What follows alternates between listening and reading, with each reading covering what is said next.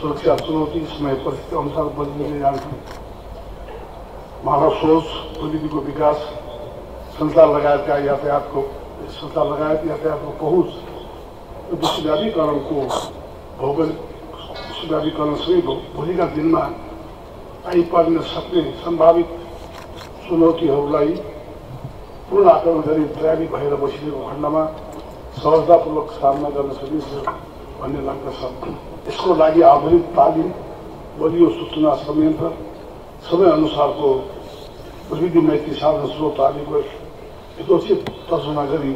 आन्तरिक सुरक्षाको बलियो अङ्गको रूपमा प्रहरीलाई तयार गरिनु अहिलेको खाँचो भएको छ नेपाल सरकार उपयुक्त योजना तथा नीति तर्जुमा गरेर बललाई सुदृढ आधिकरण गर्न तयार रहेको छ देशमा लामो सङ्घर्ष बलिदान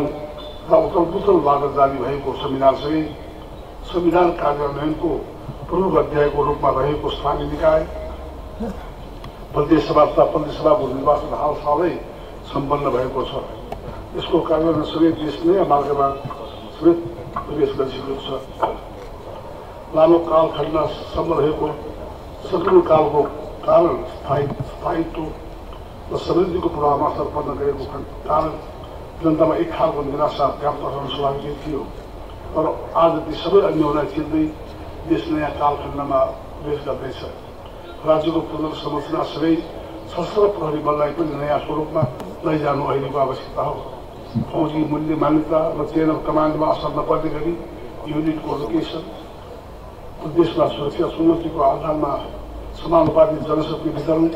कार्य प्रकृति एवं सेवा विशिष्टीकरणको अवधारणा अनुरूप सशस्त्र प्रहरी बललाई अगाडि बढाउने यस विषयमा सशस्त्र प्रहरी बलको तर्फबाट सरकारलाई सुझाव दिनका लागि पनि म निर्देशन दिन चाहन्छु। चुनौती समय र परिस्थिति अनुरूप परिवर्तन भइरहने विषय भएकोले परिआउने जसोसुकै सुरक्षा परिस्थितिलाई सामना गर्न संगठनलाई समयोचित साधन स्रोतको बढोत्तरी सान्दर्भिक तालिम प्रविधिजन्य पक्षमा लगानी गरी समयमा सुदृढ तुल्याउन जरुरी हुन जान्छ। सशस्त्र प्रहरी बल संविधानत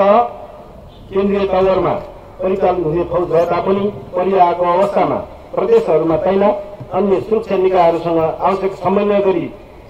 कार्य गर्न सहज होस् भन्ने उद्देश्यका साथ पुनर्संरचना गर्नु अहिलेको आवश्यकता रहेको छ।